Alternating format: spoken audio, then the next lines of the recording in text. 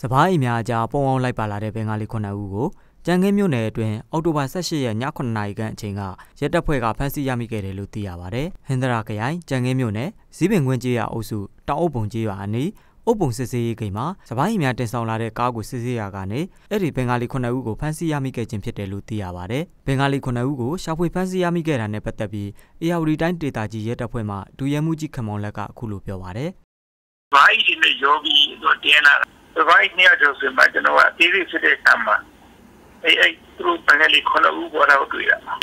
ကျွန်တော်ကအဲ့ကားတွေဘာညာရောအသေးစိတ်တော့နည်းလေးဖြစ်တယ်။အုပ်ပုံကမှာစစ်ဆေးစစ်ဆေးလို့အုပ်ပုံကနေကြောပြီးတော့မနောက်တစ်ချိန်မှာစစ်ဆေးလို့တွေ့တယ်ဆိုရင်ဥပ္ပကနေ့ကျွန်တော်အရေးကြီးမယ်ဆိုကျွန်တော်စာထုတ်ကြတော့အဲ့ဒါကသူတို့လည်းဘာဖြစ်သူတို့နဲ့တောင်းဝင်ကြည့်အောင်တော့အသေးသေးတော့ဖြစ်တာပေါ့ဖြစ်တဲ့အခါမှာသူဒီဘင်္ဂလီမျိုးတွေ့တာပေါ့ပဲခူးတိုင်းဒေသကြီး ပြည်ခရိုင်အုတ်ရှိပင်ဘက်ကနေမောင်းနှင်လာတဲ့နေဆန်အမျိုးအစားအဝါရောင်မတော်ယာဉ်ကိုစစ်ဆေးရာကနေစပားထက်ထားတဲ့အိတ်260ကျော်မှညှက်ပြီးဘင်္ဂလီ9ဦးကိုတက်ဆောင်လာတာကိုစစ်ဆေးတွေ့ရှိခဲ့ခြင်းဖြစ်တယ်လို့သိရပါဗျ။အဲ့ဒီမော်တော်ယာဉ်ဟာဘင်္ဂလီ9ဦးကိုစစ်တွေမင်းပြားအန်ပဒံအုတ်ရှိပင်ကားလန်ကတဆင့်ပသိမ်မူရကားလန်အတိုင်းတဲဆောင်မောင်းနေလာခြင်းဖြစ်တယ်လို့ရဲတပ်ဖွဲ့ရဲ့ကနဦးစစ်ဆေးချက်တွေအရသိရပါတယ်။အခုတန်းနေကျွန်တော်တို့စစ်ဆေးတာကတော့မြင်းပြမြင်းပြဒီမှာဒီ ရန်ကုန်ဘက်ကိုတော်တော်ဖို့တယ်